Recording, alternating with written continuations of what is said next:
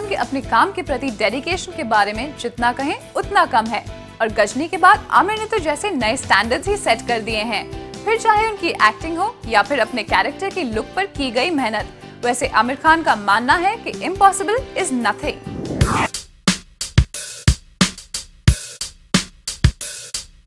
Aamir Khan के बदलते hair styles ने हमेशा ये सोचने पर मजबूर किया है कि what is Aamir up to अब आमिर अपनी हर फ़िल्म के रिलीज़ के काफ़ी पहले से ही पब्लिक में रिवील करते हैं एक नया हेयर स्टाइल जो बन जाता है टॉक ऑफ़ द टाउन और ऐसा करके आमिर की आने वाली फ़िल्म को पब्लिसिटी भी अच्छी मिल जाती है। अब तो जैसे ये आमिर का स्टाइल बन गया है कि फ़िल्म के पहले reveal the look of the character in the film Aamir ने इसका लेटेस्ट एग्ज़ाम्पल दिया फ़िल्म गजनी के लुक के साथ।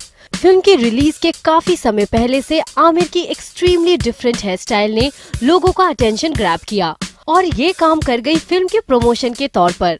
एंड नीडलेस टू से कि फ़िल्म भी साबित हुई ज़बरदस्त हिट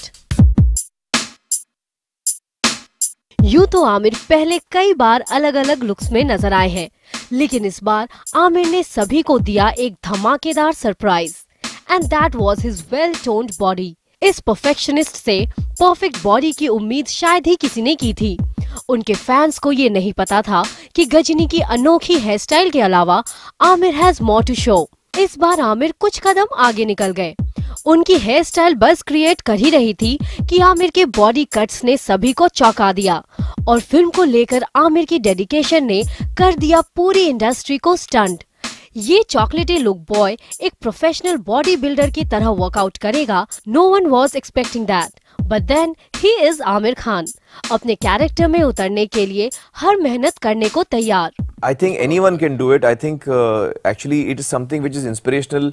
I can understand. जब मैं किसी को देखता हूँ उसने अपनी फिजिक बनाई है जब मैं आर्नल्ड श्वाजनेगर को देखता हूँ टॉम क्रूज या ब्रैड पिट को देखता हूँ मुझे लगता है हाँ यार मैं भी कर सकता हूँ और ये सच बात है कोई भी कर सकता है आपको उस पर मेहनत करनी पड़ती है ऐसा कोई काम नहीं है जो इस दुनिया में आप नहीं कर सकते ये हार्ड वर्किंग एक्टर भले ही अपनी मेहनत से कितने ही तीर मार ले but he never gets carried away मुझे लगता था कि यार कैसे मैं करूँगा?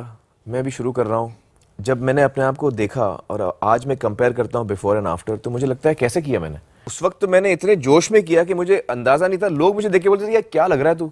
वॉट हैव यू डन कैसे मैनेज किया? तो उस वक्त तो मैं उस जोश में था तो I never use to look at myself क्योंकि when you look at self and feel हाँ नाउ एम लुकिंग गुड वहाँ आपकी गाड़ी रुक जाती है।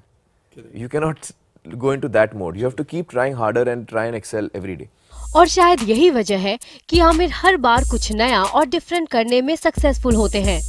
अपनी लेटेस्ट सक्सेस से इस अमेजिंग एक्टर ने खुद को एक अलग मकाम पर पहुँचाया है। अपने कंपेटिटर्स को भी आमिर ने डेडिकेशन के मामले में कहीं पीछे छोड़ दिया है। वैसे इसके बाद भी आमिर से कुछ नए की एक्सपेक्टेशन तो ज़रूर है। इनफैक्ट अब तो लोगों को भी इंतज़ार रहेगा कि what's next with this complete package of talent और शायद हटकर सोच रखने वाले आमिर ने अब तक कुछ सोच भी लिया होगा। अंजलि सिंह जूम मुंबई